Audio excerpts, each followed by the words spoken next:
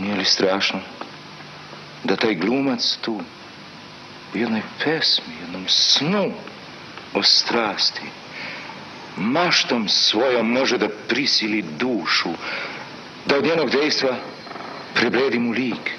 U oku budu suze, licem strah, jecanje u glasu i držanje sve s njegovom maštom da dođe u sklad. I to ni za šta, za Hekubu. Šta je Hekuba njemu ili on Hekubi da plače za njom? Šta bi radio taj? Da ima povod. Pobudu za Bog.